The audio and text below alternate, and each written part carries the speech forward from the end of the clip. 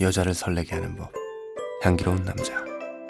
그녀가 높은 책장에서 책을 꺼내려는 순간 그녀의 손이 책장에 닿지 않는다면 먼저 은은한 향기를 위해 재빨리 보닌 올인원 perfume을 꺼내어 얼굴과 손에 발라줍니다. 그리고 아무 말 없이 조용히 그녀의 뒤로 다가갑니다. 그녀를 뒤에서 감싸 안듯 천천히 왼손을 뻗어 책장을 잡고 오른손으론 책을 빼줍니다. 여기에서 포인트. 절대 그녀와 접촉하지 말고 5cm 거리를 유지. 그녀의 심장박동을 타고 퍼지는 보닌 올인원 perfume의 향기. 여자가 향기롭게 설레는 순간 보닌 올인원 perfume. 보닌.